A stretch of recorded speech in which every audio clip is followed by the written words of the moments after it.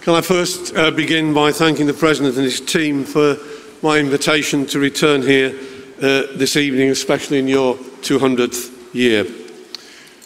Tony Benn almost believed that people in positions of power, be that in the spheres of the economy or politics, should be asked five questions. What power have you got? Where did you get it from? In whose interest do you exercise it? To whom are you accountable? And how do we get rid of you? My purpose tonight in a short contribution is to make some comments on the third, in whose interests do you exercise it?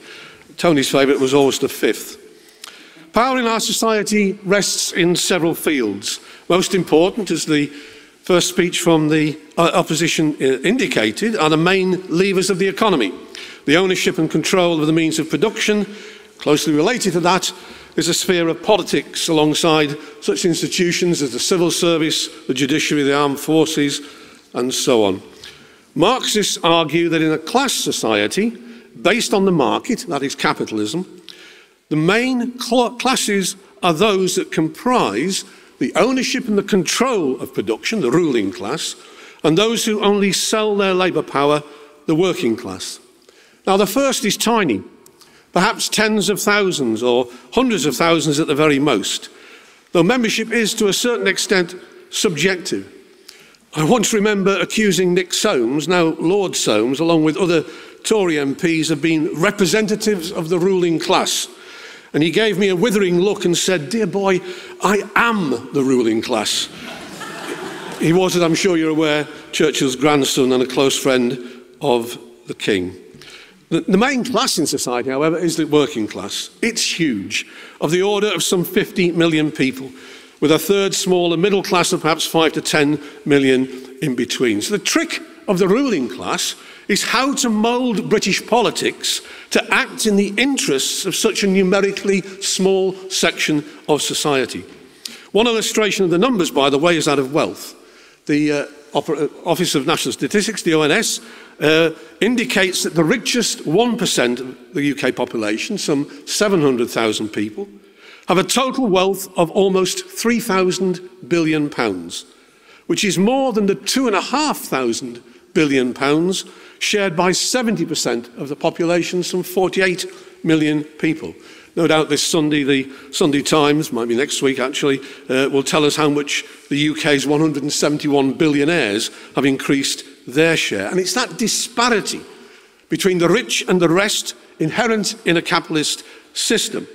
Now, it wasn't always the case. 50 years ago, this was one of the more equal countries on the planet, with the gap between the rich and the rest at the narrowest it had been in the 20th century.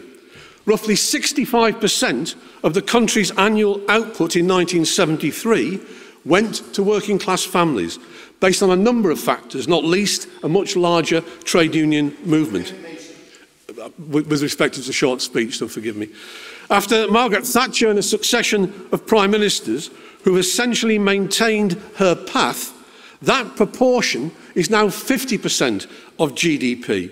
In today's figures, it's a transfer of some £300 billion a year from ordinary families to the richest layers of society. Frankly, maintaining that disparity, the power and the privilege of an elite section of society, maintaining the structures which keeps that disparity in place, is the job of a politics that represents the interests of the ruling class. And where that role is, uh, in particular, uh, is institutions, uh, as my colleague began her speech, such as in private education and in Oxbridge.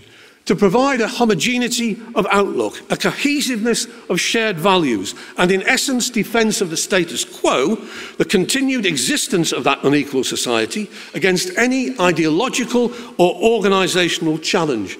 In politics, unfortunately not time to make the same points about business law or the armed forces, members of parliament largely share these values by being, as, as was outlined, disproportionately drawn from private schools followed by Oxbridge or Russell universities.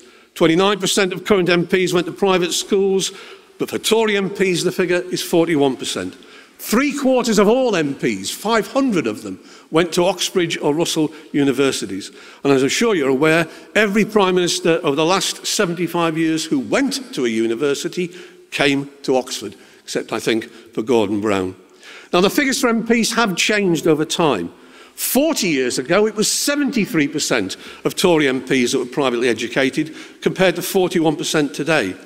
For Labour MPs, the decline is less so, from 18% 14%.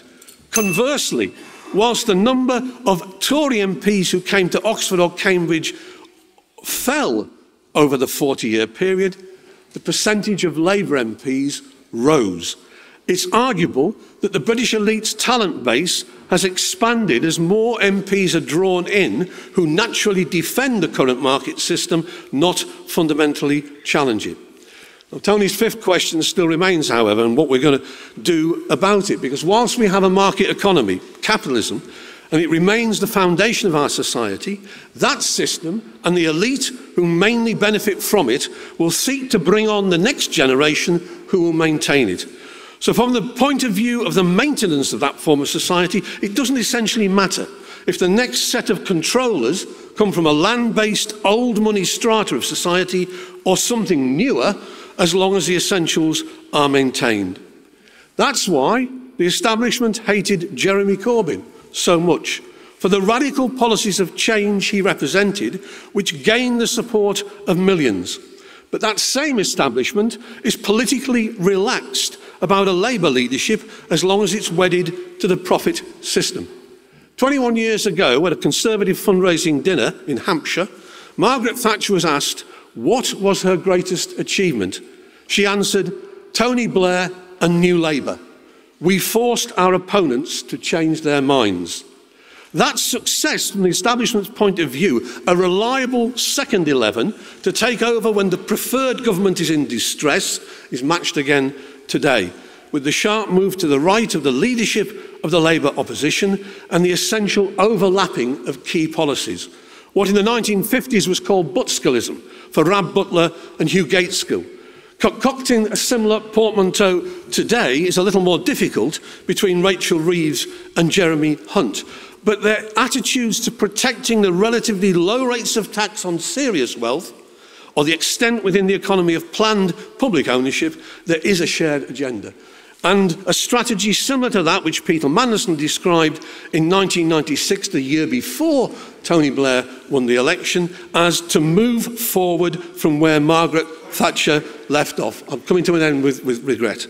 And which will no doubt provide a seamless transition at the next election in the same way as Gordon Brown's initial adoption of an extremely conservative fiscal policy, in essence the continuity of the policy of Ken Clark, of which Ken Clark said later, such was the unpopularity of the Tory government in 1997, he would never have got away with. A Labour challenge under Jeremy Corbyn was different, was radical, from the abolition of tuition fees to the public ownership of essential industries, and in 2017 brought the largest rise in the popular vote for any political party since Clem Attlee 70 years earlier. It was a brief period when Labour really was seen, paraphrasing Shelley, as for the many, not the few, fundamentally different from the Tories and defying a political alternative for the working class. That period the Corbyn experiment inside the Labour Party is decisively over. As Keir Starmer said yesterday at the British Chambers of Commerce Global Annual Conference, after three years where he and Rachel Reeves have had meetings with each and every one of the CEOs of the 250 largest businesses in this country, Labour is now not just a pro-business party, we're a party that is proud of being pro-business or Wes Streeting last week who told nurses to get over their cultural sniffiness about the role of profit in the National Health Services.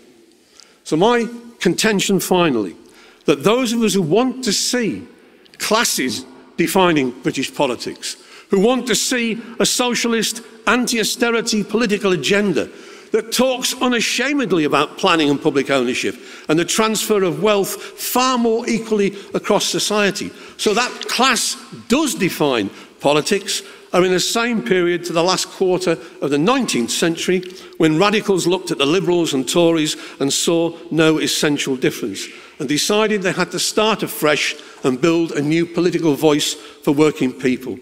That's our job today, not an easy one, but one that can only be successful if a new party is rooted in the organisations and communities of the working class. So do we live in a country where your socio-economic background dictates your policies, which was the question posed in the invitation I received to tonight's debate? My argument, it's the class interests which dominate politics, But the political choice with currently is an offer is one which is skewed towards the interests of the minority capital-owning class within society, not the majority. Our side isn't currently on the pitch. Something new needs to be built so that the working class can define British politics in its favour and end the one-sided interests of the ruling class which currently define British politics.